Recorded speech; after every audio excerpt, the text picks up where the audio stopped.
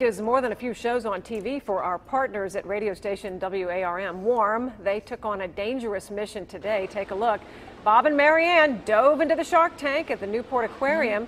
You may have heard it on the radio this morning. We asked Marianne about what it's like to be on the other side of the fishbowl.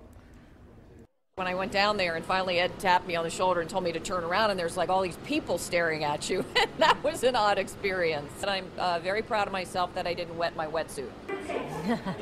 Yesterday, we told you the aquarium unveiled this sand tiger shark as part of its shark mural, also part of Shark Week. Uh, Marianne's a brave woman. Yeah, I mean, just